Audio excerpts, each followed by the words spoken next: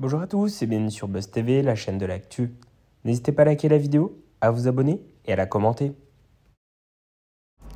Je me retrouve en Nolwenn par rapport à notre sensibilité commune. On a souvent les larmes aux yeux, déclare son magnéto Louagad, l'une des quatre finalistes de l'équipe de coach de The Voice Kid. Ce mardi 22 août, Noël Laura confirme en évoquant son hyper-émotivité de sa protégée.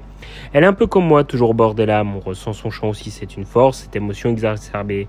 Mais ça peut aussi devenir une faiblesse lorsqu'elle peut devenir maîtrisée. Cela est magnifique. Depuis les auditions à l'aveugle où Louagad, le coach et son talent sont tout comme fusionnels.